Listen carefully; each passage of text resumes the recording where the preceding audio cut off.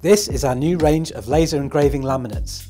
These sheets are made of solid coloured base layer, laminated with a thin top layer of contrasting coloured acrylic. They are 600mm by 400mm with a thickness of 1.5mm. The material is ideal for use with a laser cutter and can also be drilled or thermoformed. It cuts cleanly and when engraved, the thin top layer is removed showing the strong contrasting colour beneath. These versatile engraving laminates are ideal for signage and labelling, plaques, identification plates, control panels and many other applications. Our range includes blue on white, black on white, red on white, white on black, yellow on black,